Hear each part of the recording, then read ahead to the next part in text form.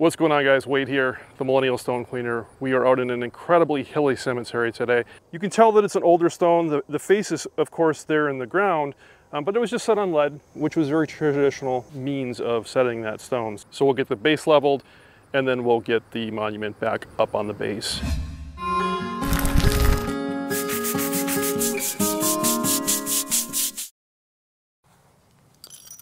Starting a new project is a moment filled with excitement, anticipation, and a little bit of trepidation. Every single historic headstone that I work on has a problem. In fact, that's why I'm here, because there's something that needs to be addressed. Sometimes those problems are minor, easily resolved, quick and simple, and sometimes they're not. Sometimes they take a tremendous amount of work. And sometimes they're neither here nor there, in that they may look complicated or they may look very simple, but only once we really start examining the stone, and sometimes not until we're elbow deep in the project, do we truly know the scope of what we're dealing with. This granite headstone is no exception. It's old, but it's not obvious at first glance as the inscription is face down in the dirt. This is simply due to a, a foundation shifting. This incredibly hilly cemetery is prone to having the foundation shift, Perfect. and when the foundation shifts, we have monuments that fall over.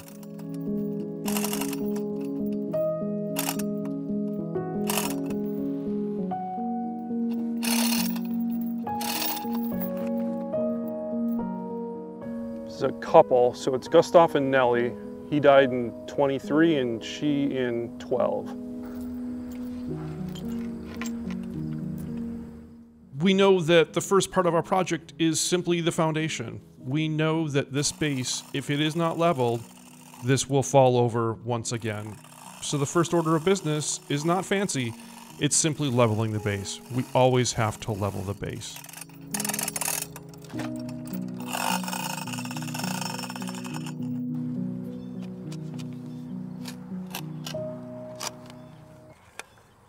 This is the grave of Gustaf and Nellie Elliason, both born in Langaryd, Sweden in the 1830s.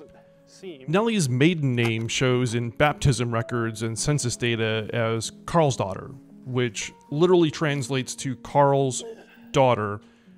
Her father's name was Carl, and Carl had a last name of Johansson.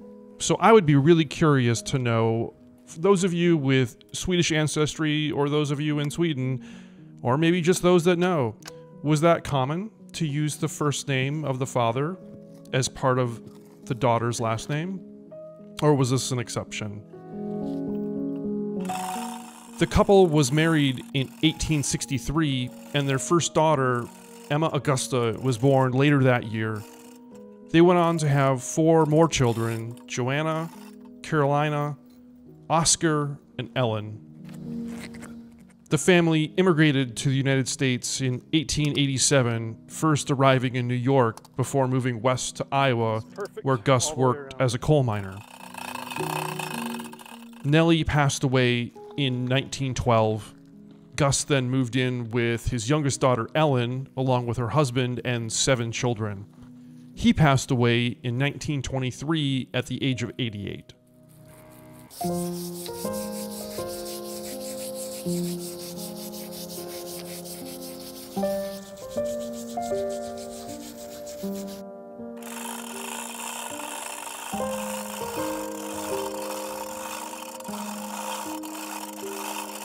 Sometimes leveling a base is very easy. You just level it, right? With a solid foundation and base in place, it's time to get the die up. That's what we call this part, the die. Die on base.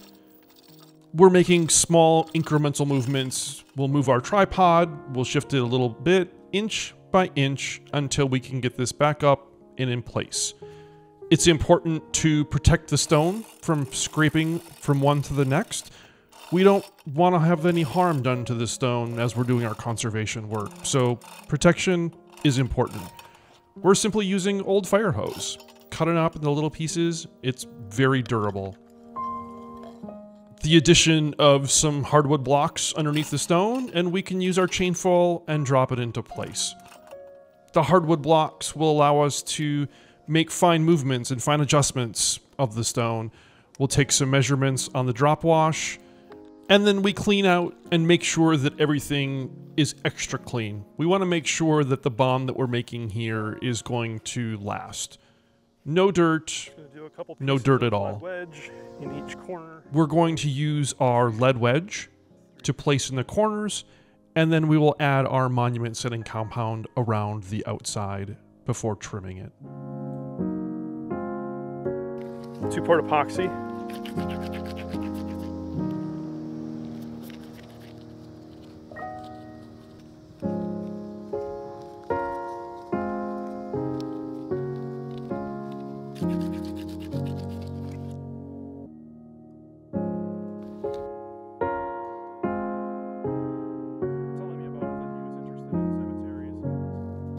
This is what it looks like. It's kind of gets little hard pieces in there and most of it's perfectly fine. Ultimately, that's what it's gonna do inside this joint and it's gonna help provide a moisture barrier and seal things out from the elements, provide a little bit of a stickiness as well.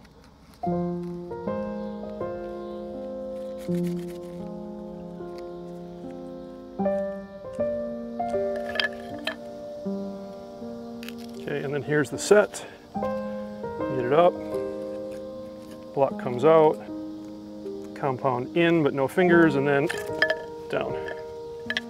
And you'll see that ooze coming out. That's, that's satisfying. Same thing here. Block goes under. Block comes out. Compound goes in. And then set.